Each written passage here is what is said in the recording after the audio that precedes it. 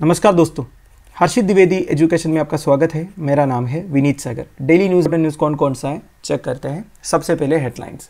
देखिए summit for democracy चल रहा है, जिसको यूनाइटेड स्टेट्स ऑफ़ अमेरिका के प्रेसिडेंट जो बिडेन कन्वीन कर रहा है। तो इस समिट को हमारे प्रधानमंत्री नरेंद्र मोदी जी ने एड्रेस किया है। तो मोदी जी ने क्या क्या इंपॉर्टेंट पॉइंट्स बोला है दुनिया भर की डेमोक्रेसी को स्ट्रेंथन करने के लिए? वो क्या क्या हम देखेंगे? फिर centre says no proposal to scrap sedition law जो सेडिशन लॉ हमारे देश में है, उन्हें स्क्रैप करने की किसी भी तरह का प्रपोजल अभी के लिए सेंटर की तरफ़ से नहीं है। ये मिनिस्टर ने क्लियर किया है। फिर यूनाइटेड नेशंस जनरल असेंबली ने इंटरनेशनल सोलर अलायंस को ऑब्जर्वर स्टेटस ग्रांट किया है। ये डिसीज़न बहुत पहले ले चुका था, अब जाके ऑब्जर्वर स्टेटस मिल चुका है इंटरनेशनल सोलर अलायंस को। फिर ड्रैगन फ्री पॉपुलेशन डिक्लेन हो रहा है। इसके बारे में एक रिपोर्ट है। ये report basically International Union of Conservation of Nature की तरफ़ से ये देखेंगे। फिर 79 percent of Beti Bachao fund spent on media advocacy देखिए, बेटी बचाओ, बेटी पढ़ाओ स्कीम के बारे में आपने सुना होगा। तो स्कीम में अभी तक जितने फंड्स एलोकेट किया था, वो मीडिया एडवोकेसी के लिए स्पेंड हुआ है। एक रिपोर्ट आया है, वो क्या हम देखेंगे? फिर Nicaragua breaks diplomatic ties with Taiwan recognizing one China देखिए ताइवान के साथ निकरगुआ का ऑलरेडी डिप्लोमेटिक टाइज था।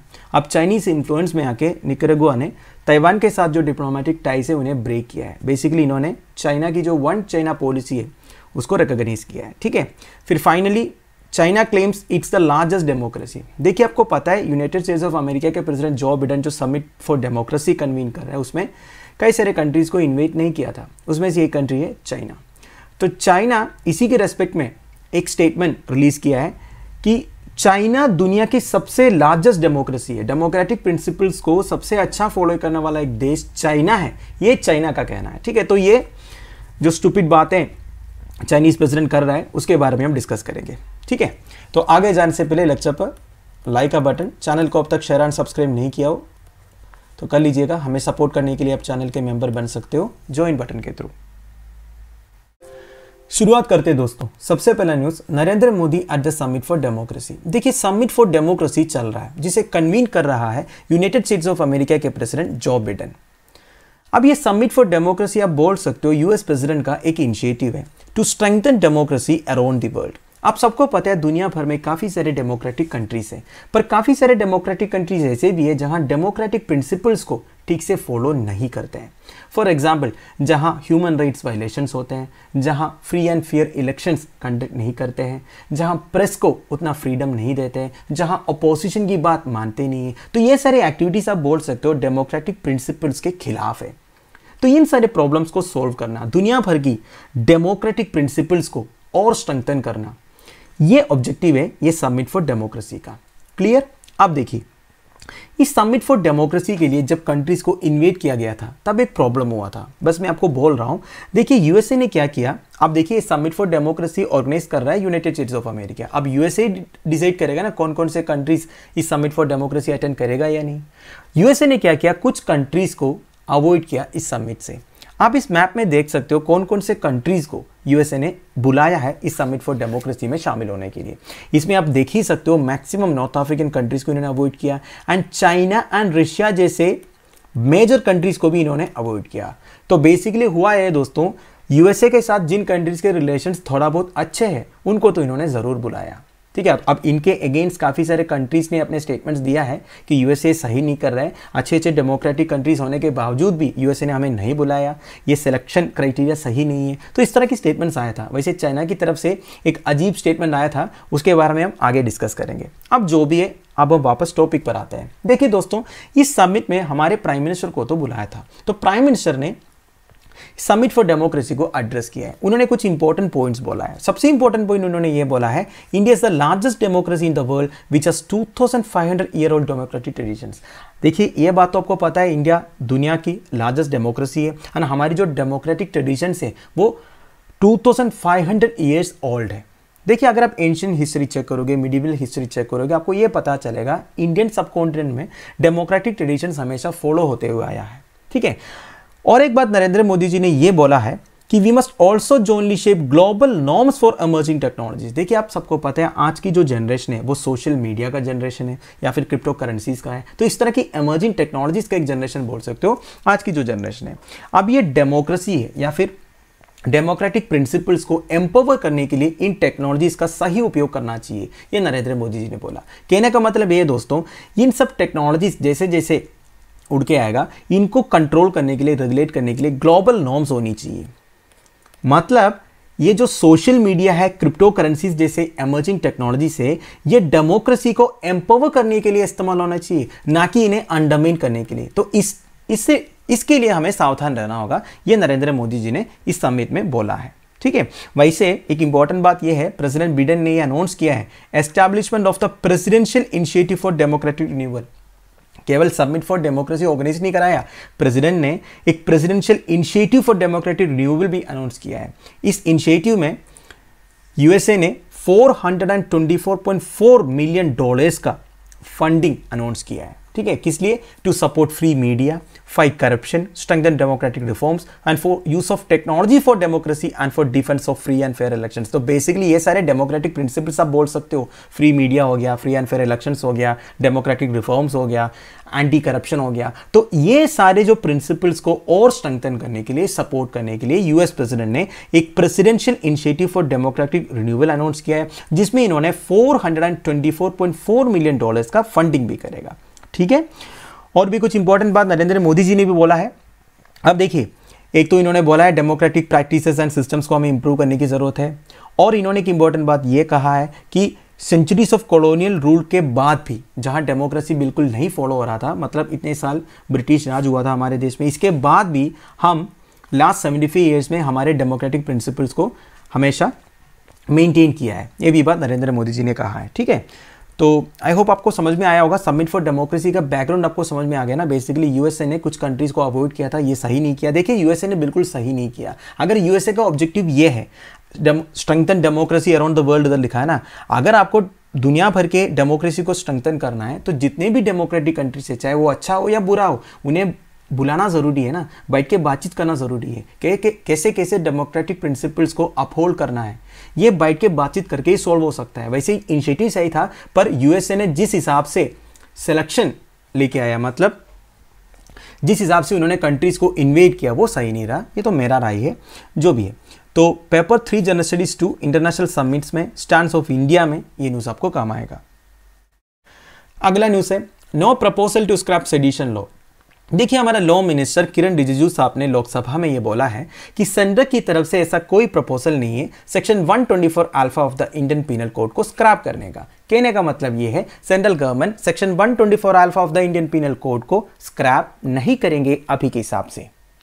अब ये section 124 alpha of the IPC होता क्या है? इससे पहले आपको यह समझना होगा कि इंडियन पीनल कोड क्या होता है। देखिए इंडियन पीनल कोड इसके अंदर जितने भी ऑफेंसेस है ना, एक ह्यूमन बीइंग जो कर सकता है, उसके बारे में लिस्ट किया हुआ है, एक एक सेक्शंस में।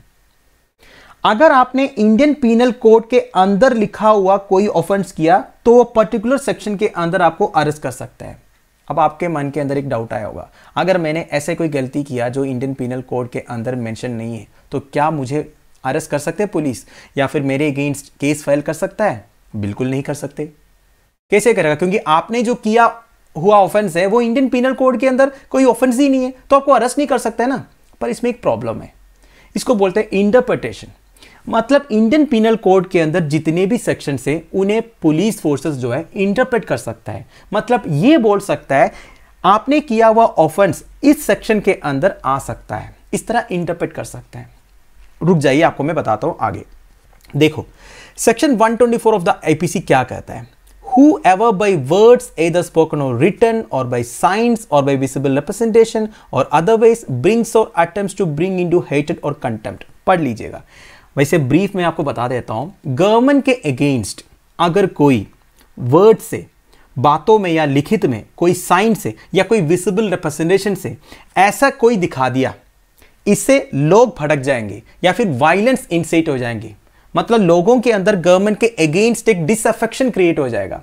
इस तरह की एक्टिविटीज़ अगर आप करोगे मतलब अगर लोगों को गवर्नमेंट के अगेंस्ट भटकाने वाला काम आप करोगे तो आपको गवर्नमेंट अरेस्ट कर सकता है।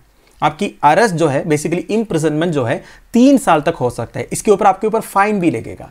ये कहता है section 124 A of the IPC अब आप एक बार वीडियो पोस्ट करके ये पूरा पढ़ लीजिए।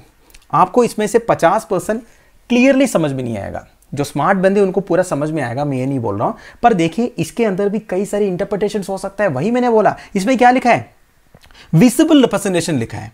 अब ये विजिबल रिप्रेजेंटेशन मतलब उसमें क्या क्या आएगा भाई? देखो, जो कुछ भी आएगा मतलब विजिबल रिप्रेजेंटेशन दूसरा आदमी, मैं जो कहना चाहता हूँ, वो देख सकता है। वो हो सकता है फेसबुक पोस्ट हो। आजकल की जो फेसबुक मतलब जब ये 124 अल्फ़ा बना होगा, तब ये Facebook Twitter mobile phones smartphones इसके बारे में किसी को पता भी नहीं होगा। तब उन्होंने विजिबल रिप्रेजेंटेशन करके क्लोज क्यों ऐड किया? क्योंकि इन्हें पता था आने वाले टाइम पर किसी भी तरह का टेक्नोलॉजी आ सकता है जिससे एक आदमी दूसरे आदमी से कम्युनिकेट कर सकता है। तो आजकल की जो न्यूज़पेपर्स है फेसबुक है व्हाट्सएप है, जो भी है, वो सारे विजिबल रिप्रेजेंटेशन के अंदर आएगा ना। तो इसी तरह सेक्शंस को इंटरप्रेट कर सकता है। ये मैं बोल रहा था। समझे आप? तो section 124 alpha of the IPC क्या कहता है? ये आप समझ गए। आप देखिए, हुआ क्या है? काफ़ी सारे लोगों ने बेसिकली जो अपोजिशन पार्टीज़ के कुछ मेंबर्स ने या फिर जर्नलिस्ट ने ह्यूमन राइट एक्टिविस्ट ने, ये section 124 alpha of the IPC के अगेंस्ट कुछ पिटिशन फ़ाइल किए थे सुप्रीम कोर्ट में। उनका कहना भी सही था, ये कॉलोनियल रूल है। बेसिकली ये ब्रिटिश राज के टाइम पर यूज़ होता था। क्यों यूज़ होता था? ब्रिटिशर्स हमारे फ्रीडम फाइटर्स को अरेस्ट करने के लिए सीधा सीधा section 124 alpha of the IPC use करता था। क्योंकि फ्रीडम फाइटर्स जो भी करेंगे, वो ऐसे ही होगा ना, लोगों को भटकाने के लिए गवर्नमेंट के अगेंस्ट ब्रिटिश राज के अगेंस्ट लोगों को भटकाने तो उनका काम था। फाइट करना था फ्रीडम के लिए। तो ब्रिटिश गवर्नमेंट क्या बोलता था? ये सीधा सीधा आप section 124 alpha of the IPC के अंडर एक ऑफेंस कर रहे हो। तो एक कॉलोनियल रूल में ये section 124 alpha of the IPC का अच्छा खासा इस्तेमाल होता था। पर आजकल भी होता है। आजकल भी गवर्नमेंट ह्यूमन राइट एक्टिविस्ट को एनवायरमेंटल एक्टिविस्ट को, या फिर जो भी जर्नलिस्ट है, अगर वो गवर्नमेंट के अगेंस्ट डिसअफेक्शन क्रिएट करने के लिए कुछ कर रहा है, कुछ आर्टिकल्स लिख रहा है तो गवर्नमेंट इन्हें अरेस्ट कर सकता है section 124 alpha of the IPC के अंदर। है कि नहीं? तो इतना रुकिए। अब क्या लिखा है? Mister Rijiju also inform the house that question of law regarding section 124 alpha is pending अब ये क्वेश्चन ऑफ़ लॉ मतलब क्या होता है? क्वेश्चन ऑफ़ द लॉ मतलब वही है दोस्तों, जो इंटरप्रिटेशन ऑफ़ द लॉ है, जो मैंने आपको पहले ही बोला था। एक एग्ज़ाम्पल के साथ आपको मैं समझाता हूँ। मान लीजिए एक जर्नलिस्ट ने एक मैगजीन में एक आर्टिकल लिखा।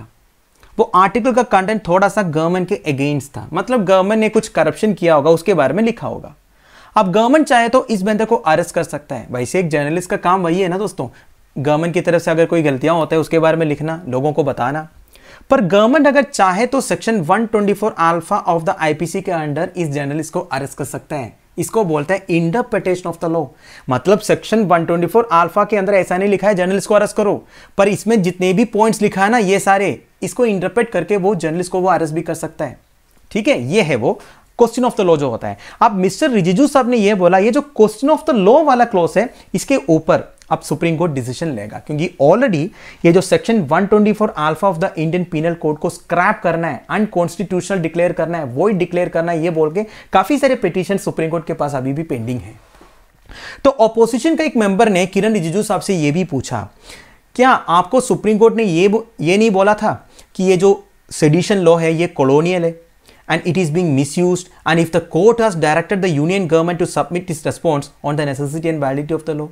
मतलब ओपोजिशन मेंबर ने किरण रिजिजू साहब से ये पूछा कि क्या सुप्रीम कोर्ट ने आपको बोला नहीं था क्या? ये section 124 alpha of the IPC जो है, ये थोड़ा सा कॉलोनियल है। थोड़ा सा क्या? पूरा कॉलोनियल है। एंड ये मिसयूज हो रहा है गवर्नमेंट की तरफ़ से। तो किरण रिजिजू साहब ने यह बोला no such observation been found in any judgment मतलब सुप्रीम कोर्ट ने हमें बोला तो है, पर सुप्रीम कोर्ट ने यह नहीं बोला है सीधा सीधा section 124 alpha of the IPC को टर्न डाउन करो या फिर अनकॉन्स्टिट्यूशन डिक्लेयर करो, ठीक है? वैसे ही ये जो क्वेश्चन ऑफ़ लॉ या फिर इंटरप्रिटेशन ऑफ़ लॉ के बारे में अभी भी सुप्रीम कोर्ट रिसर्च कर रहा है, उसकी रूलिंग तो बाद में आएगा। तो अभी के हिसाब से ऐसा कोई प्रपोजल नहीं है सेंट्रल गवर्नमेंट की तरफ़ से। अभी के लिए section 124 alpha of the IPC लागू है। गवर्नमेंट चाहे तो किसी को भी अरेस्ट कर सकता है। वैसे दोस्तों, जुलाई ट्वेल्व टू को सुप्रीम कोर्ट ने सेंट्रल गवर्नमेंट को थोड़ा सा टाइम दिया है। To counter affidavit in the matter of behalf of the Union of India मतलब बहुत सारे लोगों ने केसेस फ़ाइल किया था ना section 124 alpha of the Indian penal code को अनकॉन्स्टिट्यूशन डिक्लेयर करने के लिए। तो सुप्रीम कोर्ट सबसे पहले क्या करते हैं ना सुप्रीम कोर्ट सेंट्रल गवर्नमेंट से एफिडेविट मांगते हैं। सेंट्रल गवर्नमेंट के लिए कौन रिप्रेजेंट होता है सुप्रीम कोर्ट में? जो सोलिसिटर जनरल होता है, ठीक है, या फिर एडिशनल सोलिसिटर जनरल होता है, ये सब अपेयर होता है। तो उनसे सब सेंट्रल गवर्नमेंट ये मांगते हैं कि सेंट्रल गवर्नमेंट की क्लैरिफिकेशन क्या है इस इशू में? क्या section 124 twenty alpha of the IPC को टेंड ऑन करना है? ये करना है तो सबसे पहले सुप्रीम कोर्ट का एक ट्रेडिशन यही रहा है कि सेंटर से वो पूछते हैं, आपका क्लैरिफिकेशन दो, एक अफिडेविट दो, इसको बोलते हैं अफिडेविट ठीक है? तो सेंट्रल गवर्नमेंट ने सुप्रीम कोर्ट से एक्सटेंशन मांगा था, हमें टाइम चाहिए। तो सुप्रीम कोर्ट अभी के लिए तो एक्सटेंशन दिया हुआ है, यही बोल रहा है, ठीक है? तो पूरा खुल मिला के न्यूज़ आप समझ गए ना section 124 alpha of the Indian penal code के बारे में। मेरा वीडियो लेंथी हो रहा है, मुझे मालूम है, फिर भी मैं आपको ये समझाना चाह रहा था, इसलिए थोड़ा सा लेंथी बोल दिया मैंने, ठीक है? तो paper three general studies two government policies and intervention and issues arising out of their implementation में या फिर structure and functioning of judiciary में। ठीक है? ऐसा में आपको ये न्यूज़ काम आएगा। अगला न्यूज़ है observer status granted to international solar alliance सबसे पहले इंटरनेशनल सोलर अलायंस के बारे में, वैसे हमने काफ़ी बार डिस्कस किया है और एक बार मैं ब्रीफली आपको बता देता हूँ। देखिए आईएसए या फिर इंटरनेशनल सोलर अलायंस एक जॉइंट इनिशिएटिव है by India and France to mobilize efforts against climate change through the deployment of solar energy solutions. तो बेसिकली सोलर पावर से मैक्सिमम एनर्जी क्रिएट करना। ये इंटरनेशनल सोलर अलायंस का एक objective आप बोल सकते हो। आपको पता है फोसिल फ्यूल्स जो हम आजकल यूज़ करते हैं, उसका यूसेज हमें बंद करना होगा। क्योंकि फोसिल फ्यूल्स आप जितना यूज़ करोगे, उतना ग्रीन हाउस गैस एमिशंस होगा। जितना ग्रीन हाउस गैस एमिशंस होगा, उतना ग्लोबल वार्मिंग होगा। और ग्लोबल वार्मिंग की वजह से क्या क्या एक्सट्रीम वेथर इवेंट्स हो सकता है, ये आपको पता ही है। तो धीरे धीरे हमें रिन्यूएबल एनर्जी के पीछे जाना होगा। और रिन्यूएबल एनर्जी का सबसे अच्छा ऑप्शन है सोलर एनर्जी है कि नहीं? आप देखिए इंटरनेशनल सोलर अलायंस किस लिए है? बेसिकली दुनिया में सबसे ज़्यादा अर्थ में सबसे ज़्यादा सनशाइन कहाँ मिलते हैं? Tropic of Cancer and Tropic of Capricorn के बीच में। इन्हें आप सनशाइन कंट्रीज़ भी बोल सकते हो। है कि नहीं? क्योंकि round the year Tropic of Cancer and Tropic of Capricorn के बीच में सनशाइन मिलता है। ये बात आपको पता है। आप ये Tropic of Cancer and Tropic of Capricorn के बीच में जितने कंट्री से, या फिर इन दोनों लाइंस को टच करने वाले जितने कंट्री से, वही आईएसए में मेंबर्स है। अब आप ये सोच रहे होंगे, क्या इन लाइंस के बाहर जो कंट्री से, वो आईएसए का मेंबर बन सकता है क्या? ज़रूर बन सकता है, पर इनके पास वोटिंग राइट्स नहीं रहेगा आईएसए के अंदर। राइट? तो देखिए आईएसए का और एक प्राइम ऑब्जेक्टिव एक एम्बिशियस गोल में बता दे तो आपको क्या है?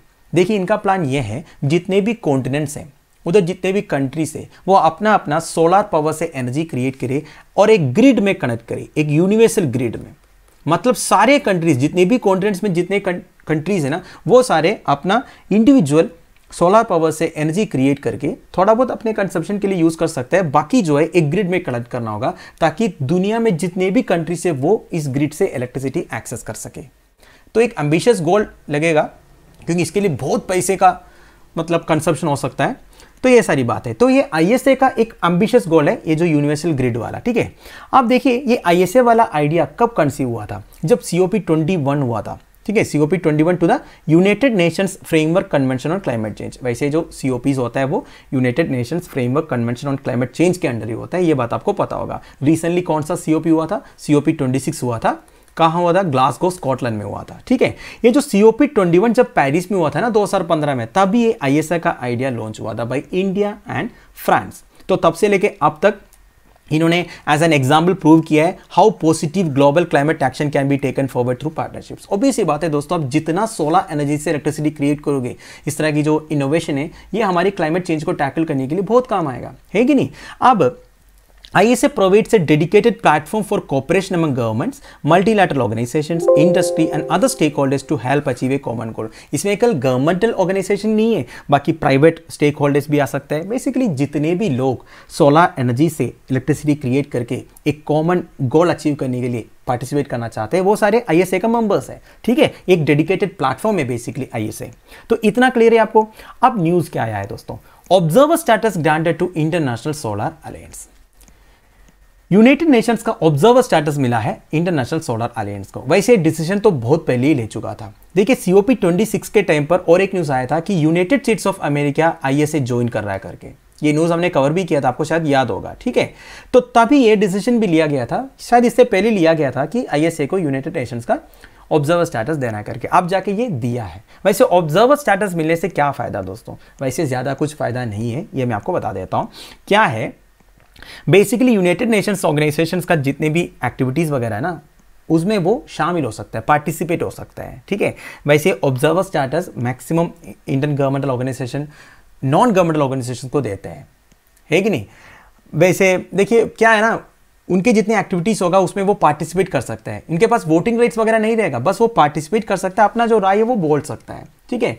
बस प्रसन्न हो सकता है। पर ये प्राइड वाली चीज़ है। यूनाइटेड नेशंस ऑर्गेनाइजेशन आपको पता है, सबसे एक बड़ा ऑर्गेनाइजेशन है। इसका एक ऑब्जर्वर स्टेटस मिलना मतलब एक प्राइड वाली बात होगी और एक एक्नोलॉजमेंट हो गया। है कि नहीं? एक रिकोगशन हो गया। ये सब आप बोल सकते हो। वैसे यूनाइटेड नेशंस ऑर्गेनाइजेशन का ऑब्ज़र्व मिल गया मतलब कोई टॉप नहीं बना। ये तो क्लियर है, क्योंकि यूनाइटेड नेशंस ऑर्गेनाइजेशन का पावर के बारे में आपको मालूम है। पूरा पावर तो वो पाँच कंट्रीज़ के पास है। कौन कौन से पाँच कंट्रीज़ के बारे में मैं बात कर रहा हूँ, आपको पता है। ठीक है? तो देखिए क्या लिखा है? Observer status is a privilege granted by some organisations to non members to give them an ability to participate in the organisations activities बस वही है। ऑर्गेनाइजेशन की जितनी भी एक्टिविटीज़ है, वो पार्टिसिपेट कर सकता है। ठीक है? तो बात वही है दोस्तों, एक टाइप का रिकग्निशन है। जैसे कोई अवार्ड मिलता है ना वैसे आप समझ सकते हो। ठीक है? ऑब्ज़र्व स्टेटस मिला मतलब और कुछ नहीं है। तो आई होप आपको समझ में आ गया। Paper three general studies two important international institution में ये न्यूज़ आपको काम आएगा। अगला न्यूज़ है, Beti Bachao, Beti Padhao. 80 percent of funds spend on media campaigns सबसे पहले बेटी बचाओ, बेटी पढ़ाओ स्कीम के बारे में। ये स्कीम लॉन्च किया गया था by prime minister Narendra Modi in January 2015 इस स्कीम का मेजर ऑब्जेक्टिव ये था to address sex selective abortion and declining child sex ratio देखिए दोस्तों, हमारे देश में काफ़ी सारे स्टेट्स का हाल ये है। जब कोई औरत प्रेग्नेंट हो जाता है तो तीन चार महीने के बाद उनके फीटस का सेक्स आइडेंटिफिकेशन करने के लिए कोई प्राइवेट क्लिनिक लेके जाता है और उधर फीटस का सेक्स आइडेंटिफिकेशन होता है। अगर वो बच्ची निकला तो फोर्स्ड अबोशन भी होता है। इस तरह की काफ़ी सारे केसेस पहले रिपोर्ट होता था, आजकल ये बहुत कम हो गया। तो 2015 में ये सारे इश्यूज़ को एड्रेस करने के लिए प्राइम मिनिस्टर नरेंद्र मोदी जी ने बेटी बचाओ, बेटी पढ़ाओ स्कीम लॉन्च किया गया था। क्योंकि 2011 की सेंसस के हिसाब से हमारा child sex ratio 918 one eight is to thousand था। मतलब हर थाउज़ेंड बॉयज़ के लिए केवल 918 गर्ल्स ही थे। तो ये चाइल्ड सेक्स रेशियो को इक्वल करने के लिए गवर्नमेंट ने ये बेटी बचाओ, बेटी पढ़ाओ स्कीम लॉन्च किया गया था। वैसे पूरे देश में 405 डिस्ट्रिक्ट्स में ये स्कीम इंप्लीमेंट किया गया था। अब न्यूज़ क्या आया है?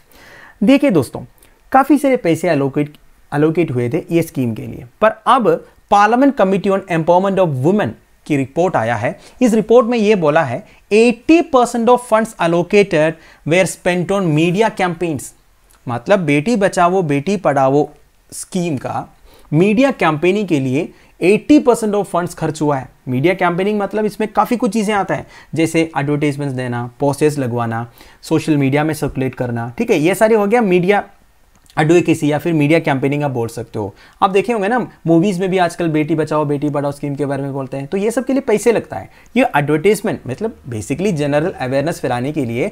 पर देखिए एक्चुअली ये बेटी बचाओ, बेटी पढ़ाओ स्कीम के अंदर health and education for girls के लिए भी कुछ करना था। पर इसके अलावा पूरा जो पैसा 80 परसेंट जो है मीडिया कैंपेनिंग के लिए खर्च कर लिया। ये गलत है ना? आप देखिए committee finds that out of total 446.72 crore release during the period 2016 to 2019 देखिए 2016 17 18 19 की बात है। टोटल 446.72 करोड़ रिलीज़ हुआ था। उसमें से 78.91 परसेंट मतलब करीब 80 परसेंट जो है मीडिया एडवोकेसी के लिए ही खर्च हुआ। ठीक है? तो आप रिपोर्ट में ये बोल रहा है लास्ट सिक्स ईयर्स में मैक्सिमम पैसे तो इस तरह खर्चा हुआ। ठीक है लैक ऑफ़ पॉलिटिकल लीडरशिप की वजह से या फिर लैक ऑफ़ इंप्लीमेंटेशन की वजह से हो सकता है। जो भी है, अब ये पैसे जो है हाँ थोड़ा बहुत पैसे जनरल अवेयरनेस के लिए यूज़ कर सकता है, पर मैक्सिमम तो हेल्थ एंड एजुकेशन के लिए खर्च होना चाहिए ना, जो भी है। आप देखिए द टोटल यूटिलाइजेशन अगर आप देखोगे the committee found that since the inception of Beti Bachao Beti बढ़ाओ पढ़ाओ scheme in 2014-15 till 2019-20 total budgetary allocation allocation 848 crore हुआ था। ठीक है? Excluding the COVID stricken financial year COVID stricken financial year 2020-21 को छोड़ के 2014-15 से 2019-20 तक 848 करोड़ रुपए एलोकेट हुआ है स्कीम के अंदर। और इसका जो कंसप्शन है वो भी बहुत कम हुआ है। देखिए, ये पीरियड में इसमें से 622.48 करोड़ रुपीस रिलीज़ किया गया था स्टेट्स को।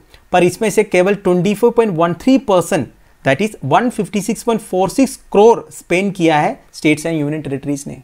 तो देखिए दोस्तों, इतने पैसे, इतना एक अच्छा स्कीम के लिए गवर्नमेंट ने स्टेट्स को अलोकेट किया है। उसमें से स्टेट्स भी देखिए केवल 25 परसेंट खर्च किया है। अब बताओ आप इंडिया का हाल ये है। पॉलिसीज़ का इंप्लीमेंटेशन नहीं होता है, फिर होगा कि इसमें कोई जब इंटरनेशनल रिपोर्ट्स वगैरह आता है ना मतलब पॉलिसीज़ की कमी नहीं है स्कीम्स की कमी नहीं है, उसकी इंप्लीमेंटेशन में प्रॉब्लम है, ठीक है? आप क्या बोले? आप देखिए according to the implementation guidelines of the scheme on the website of ministry of women and child development there are two की components of BBBP this is very important Beti Bachao, बेटी बढ़ाओ, पढ़ाओ स्कीम का दो मेन कंपोनेंट्स हैं। एक है advocacy and media campaign ये भी इंपॉर्टेंट है मतलब एडवर्टाइजमेंट्स के थ्रू या फिर टेलीविज़न पब्लिसिटी प्रिंट मीडिया के थ्रू कम्युनिटी एंगेजमेंट्स के through S M S brochures ये सब के थ्रू जनरल अवेयरनेस तो फैलाना पड़ेगा, लोगों को समझाना पड़ेगा ना कि ये बेटी बचाना, बेटी पढ़ाना कितनी ज़रूरी है। और दूसरा कंपोनेंट ये है multi sectoral intervention in selected gender critical district जिस डिस्ट्रिक्ट्स में ये सेक्स रेशियो काफ़ी कम है, उधर जाके मल्टी सेक्टरल इंटरवेंशन करना, लोगों तक जाके समझाना अगर इनकी कैपेसिटी बिल्डिंग करवाना है वो करना। पूरा अवेयरनेस जनरेशन एक्टिविटीज़ करना है, वो करना। इनकी सेक्टरल इंटरवेंशन इन हेल्थ करना है तो वो करना। ये सारा भी इसके अंदर इंक्लूडेड है। ठीक है? The committee noted that massive spend on advertisements was displayed the clearly laid down formula for utilization of funds ऐसा नहीं कि 80 परसेंट फंड्स ये एडवर्टाइजमेंट्स के लिए यूज़ कर सकता था।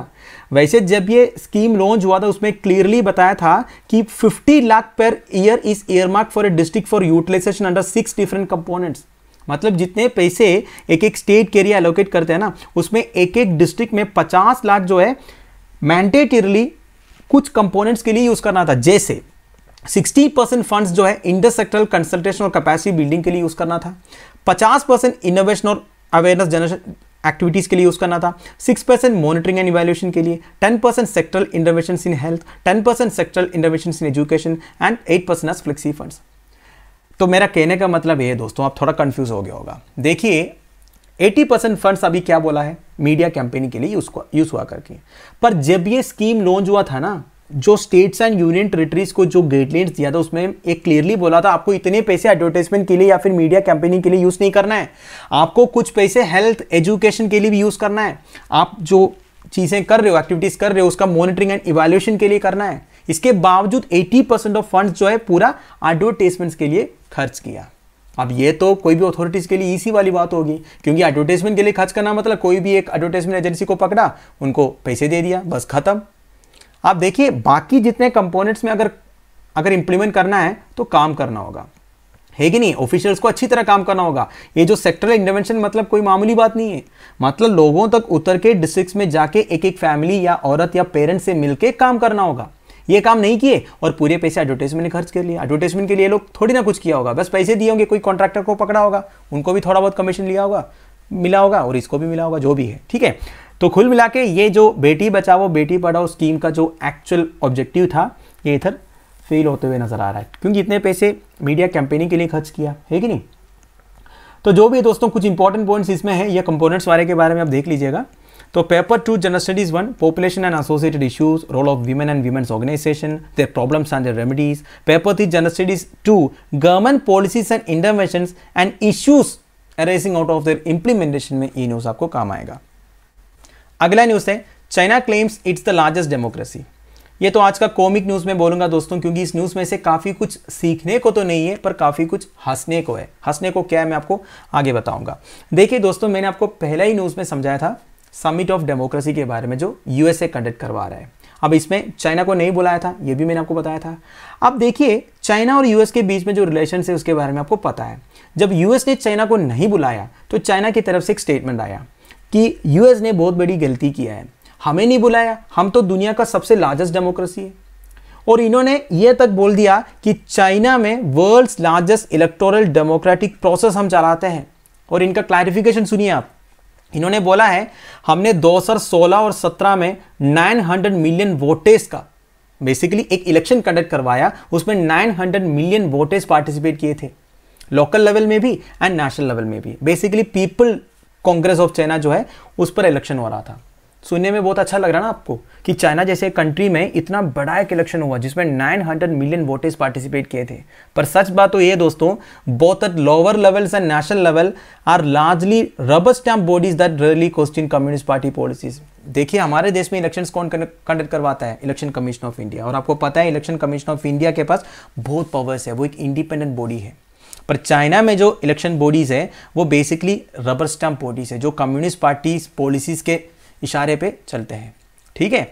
तो ऊपर से और एक बात यह है मैक्सिमम इलेक्शंस जो हुआ था लोकल लेवल में हो या फिर नेशनल लेवल में हो, वो वन कैंडिडेट इलेक्शन था। ठीक है? बेसिकली एक ही कैंडिडेट खड़ा रहेगा, बस वोट करना है। या फिर एक ही पार्टी का दो कैंडिडेट खड़ा रहेगा। तो जीतेगा तो वही पार्टी का आदमी जीतेगा। तो इस तरह के इलेक्शन होता है। पर बोलने के लिए क्या? इतना बड़ा एक इलेक्शन कंडक्ट हुआ चाइना में। तो हो गया ना डेमोक्रेटिक तो वही बोल रहे चाइना। ठीक है? And including for the post of president हो प्रीमियर हो जो भी है, वो सब वन कैंडिडेट इलेक्शन होता है कहाँ? चाइना में। ठीक है? और ऊपर से चाइना ने यह भी बोला इंडिया का जो पॉलिटिकल सिस्टम है, वो कैउटिक है एंड इनएफिशिएंट है। पर चाइना का बहुत अच्छा है, ठीक है? जो भी है। तो चाइना की तरफ़ से इस तरह एक स्टूपिड स्टेटमेंट आया है कि China claims it's the largest democracy तो ये कोई न्यूज़ नहीं था, बस मैंने आपको बता दिया। तो paper three general studies two international relation में ये न्यूज़ आपको काम आएगा। अगला न्यूज़ है decline of dragonfly population cause by wetland destruction देखिए ड्रैगन फ्लाई मतलब क्या होता है? ये आपने देखा होगा शायद ये है ड्रैगन फ्लाई ठीक है? तो इसके पॉपुलेशन में डिक्लाइन हो रहा है, क्योंकि वेटलैंड डिस्ट्रक्शन की वजह से। दुनिया भर में वेटलैंड डिस्ट्रक्शन बहुत फास्ट पेस में चल रहा है। जितना फॉरेस्ट डिसअपेयर हो रहा है ना हमारी दुनिया से, उससे फास्ट पेस में वेटलैंड्स भी डिस्ट्रॉय हो रहा है, ठीक है? आप देखिए ये रिपोर्ट पब्लिश किया है international union for conservation of nature ने आईयूसीएन आप बोलते हो ना? अब देखिए, और एक अपडेट ये है दोस्तों, ये जो आईयूसीएन का red list of threatened species है, जिसमें काफ़ी सारे क्लासिफिकेशन होता है ना, जैसे endangered critically endangered threatened extinct near to extinct इस तरह की क्लासिफिकेशन होता है, ठीक है? तो इन्होंने ये बोला है अब उनके रेड लिस्ट में फोर्टी से ज़्यादा स्पीशीज जो है, वो थ्रेटन विथ एक्सटेंशन है। मतलब अब मतलब इमीडिएटली उन्हें कंसर्व करने के लिए प्रोटेक्ट करने के लिए कुछ किया नहीं जाएगा तो वो पूरा एक्सटेंड हो जाएगा। मतलब टोटल रेट लिस्ट में one lakh forty two thousand five hundred and seventy seven species है आईयूसीएन का रेट लिस्ट में, उसमें से forty thousand and eighty four species जो है they are threatened with extinction right आप देखिए By revealing the global loss of dragonflies, today's red list update underscores the urgent need to protect the world's wetlands. अब world की जो wetlands है उन्हें protect करने की बात किया जा रहा है क्योंकि ये ड्रैगन फ्लाई का मेजर हैबिटेट है वेटलैंड्स जो है। वैसे ये जो मार्शस हो गया वेटलैंड्स हो गया जो पानी से भरा हुआ रहता है ये लोग क्या समझते हैं? बेसिकली ह्यूमन बींग्स अनप्रोडक्टिव समझते हैं क्योंकि they are inhospitable to human human कम रहते हैं ना वेटलैंड्स में।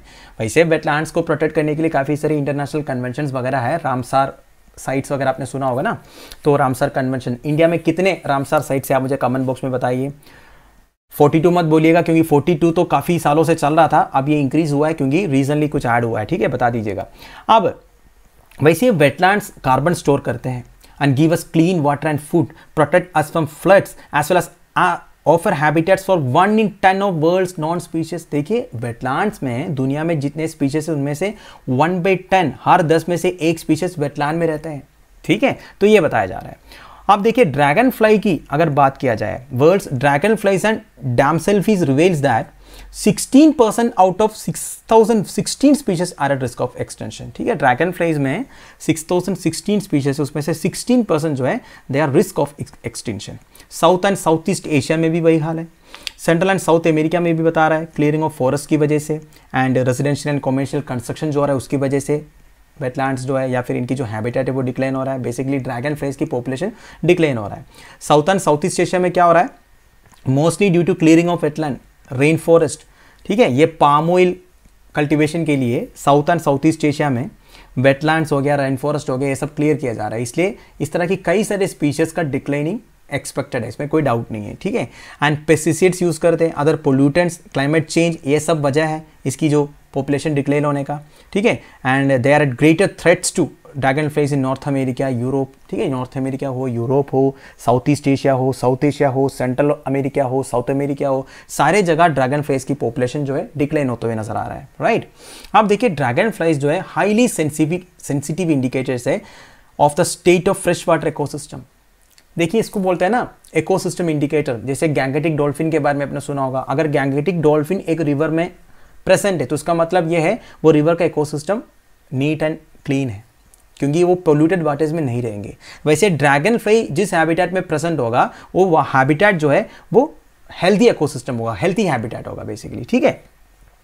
तो वही बात है दोस्तों, इन्हें कंसर्व करने की ज़रूरत है, ये बताया जा रहा है। तो ये जो आईयूसीएन रेट लिस्ट का जो फोर्टी थाउज़ेंड क्रॉस हुआ वाली जो डाटा है, ये आप नोट में इनकॉपरेट कीजिएगा। इस तरह के स्टेटमेंट्स आपसे क्वेश्चन पूछ सकता है, ठीक है? तो आईयूसीएन की रेट लिस्ट में forty thousand and eighty four species है जो थ्रेटन विथ एक्सटेंशन है। और ड्रैगन फ्लाइज का भी हाल वही है ड्रैगन फ्लाइज भी धीरे धीरे एक्सटेंट हो रहा है। ये न्यूज़ आया है। तो paper four general studies three conservation biodiversity environment degradation में ये पर्टिकुलर न्यूज़ आपको काम आएगा। आज का final news Nicaragua breaks diplomatic ties with Taiwan recognizing one China देखिए चाइना और ताइवान के बीच में जो इश्यूज़ है, इसके बारे में आपको पता है। चाइना ये बोलता है ताइवान चाइना का पार्ट है वन चाइना का पार्ट है। पर ताइवान किसी भी हाल में ये चाहते नहीं है कि वो चाइना के पार्ट बन जाए। बेसिकली ताइवान चाइना से नफरत करते हैं। और चाइना और ताइवान के बीच में रीजनली काफ़ी मिलिट्री कॉन्फ्रेंटेशन वगैरह हुआ था। काफ़ी सारे फाइटर जेट्स वारशिप्स वगैरह इधर से उधर उधर से इधर गए थे। ऊपर से आजकल यूनाइटेड स्टेट्स ऑफ़ अमेरिका भी ताइवान के सपोर्ट में आया है। तो ये सारी न्यूज़ आपको पता होगा। अब क्या है दोस्तों ताइवान को एज एन इंडिपेंडेंट कंट्री मान के काफ़ी सारे कंट्रीज़ ताइवान के साथ डिप्लोमेटिक रिलेशंस मेंटेन करके रखा है। ठीक है? पर अब निकारेगुआ एक सेंट्रल अमेरिकन कंट्री है, ये अपना फॉर्मल डिप्लोमेटिक रिलेशंस ब्रेक किया है ताइवान के साथ। ऑब्वियस ही बात है, ये चाइनीज़ इन्फ्लुएंस में आके किया होगा। क्योंकि चाइना का काम ही यही है, जितने कंट्रीज़ ताइवान के साथ रिलेशंस मेंटेन करके रखा है ना, उसे तोड़ना। तो इसमें चाइना अभी सक्सेसफुल रहा है, ठीक है? तो निकरोगा का प्रेसिडेंट डानियल ओर्टेगा ने ये बताया है कि इन्होंने ताइवान के साथ डिप्लोमेटिक रिलेशंस ब्रेक किया है करके। वैसे दोस्तों, अभी के हिसाब से ताइवान के साथ केवल 14 फॉर्मल डिप्लोमेटिक अलाइज है।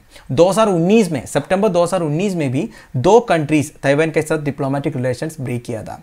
सोलोमन आइलैंड्स एंड किरीबाती, दोनों पैसिफिक ओशन के कंट्री से। वैसे अब निकरोगा का मैप देखिए सेंट्रल अमेरिकन कंट्री है। दो कंट्री के साथ वो अपना बॉर्डर शेयर करता है। नॉर्थ एंड साइड में होंडुरास साउथ एंड साइड में कोस्टारिका ठीक है? ये सॉरी अटलांटिक ओशन है और ये वेस्टर्न साइड में पैसिफिक ओशन है। राइट आप देखिए। People's Republic of China is the only legitimate government that represents all of China and Taiwan is an inalienable part of Chinese territory. ठीक है, इस तरह की स्टेटमेंट आया है, कहाँ से निकरोगा से? तो ऑब्वियस बात है, आपको पता है चाइनीज़ इन्फ्लुएंस में आके किया होगा। आप देखिए, बात यह है दोस्तों the break with Taiwan is a blow to the United States ये यूनाइटेड स्टेट्स के लिए अच्छा न्यूज़ नहीं है, क्योंकि यूनाइटेड स्टेट्स और निकरोगा के बीच में इतना अच्छा रिलेशन नहीं है। है कि नहीं? अब देखिए, इसलिए चाइना ने निकरोगा को अपने पास लेके आया होगा, क्योंकि किसी ना किसी तरह उन्हें इन्फ्लुएंस करके ताइवान के साथ अपना रिलेशन तोड़ फाड़ के आप बीजिंग के साथ जुड़ गया है निकरगुआ। अब निकरगुआ और यूएस के साथ जो रिलेशन है वो अच्छा नहीं, क्योंकि लास्ट मंथ यूएस ने निकरगुआ के ऊपर सैंक्शंस लगाए थे। आप देखिए दोस्तों यूएस का काम ही वही है। जितने गवर्नमेंट्स उनकी बात नहीं सुनती है, उनके ऊपर वो सैंक्शंस लगाते हैं। अब ये सैंक्शन लगाने का कारण क्या था? यूएस का एलिगेशन ये है डानियल ओटेगा जो निकरगुआ का प्रेसिडेंट है, उनका नेशनल सिक्योरिटी एडवाइजर है नेस्टर मोंकाडे लो वो एक fraud import and custom scheme चला रहे करके। बेसिकली ऑटेगा का गवर्नमेंट में जितने मेंबर्स हैं, उनको इनरिच करने के लिए बेसिकली उनको पैसे बना के देने के लिए इनकी जो नेशनल सिक्योरिटी एडवाइजर कोई इलीगल इंपोर्टेंट कस्टम स्कीम चला रहे करके यूएस गवर्नमेंट ने बोला है। ठीक है? तो यूएस ने क्या किया? निकरवा गवर्नमेंट के ऊपर सैंक्शन भी लगाया। तो ऑब्वियस बात है निकरगवा और यूएस के बीच में रिलेशन खराब हो जाएगा। एंड यूएस और चाइना के रिलेशन ऑलरेडी खराब है। तो ऑब्वियस बात है निकरगवा और चाइना का रिलेशन अच्छा हो जाएगा। तो वही हुआ है इधर, ठीक है? और लास्ट मंथ यूएस प्रेसिडेंट ने यह भी बोला था कि निकरगवा में जो प्रेसिडेंशियल इलेक्शन हुआ था, वो भी ठीक तरह से नहीं हुआ, वो एक ड्रामा था करके। तो इस तरह की प्रॉब्लम है ऑलरेडी यूएस और निकरगवा के बीच में। तो अब जाके फाइनली न्यूज़ आया है निकरगवा ताइवान के साथ अपना डिप्लोमेटिक टाइज जो है ब्रेक किया है, ठीक है? तो paper three general studies two में इंटरनेशनल रिलेशन में पर्टिकुलर न्यूज़ आपको काम आएगा। तो दोस्तों that's end of it I hope आपको पूरे न्यूज़ समझ में आया होगा। आप मुझे कमेंट बॉक्स में बता दीजिएगा कि आप मुझे ठीक तरह से फॉलो कर पा रहा है या नहीं। लेक्चर की पीडीएफ एज यूजल आपको टेलीग्राम चैनल में मिल जाएगा, जिसका लिंक नीचे प्रोवाइडेड है। सॉरी दोस्तों, आज थोड़ा लेट हो गया।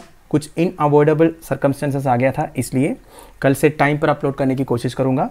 Thank you for watching bye bye have a nice day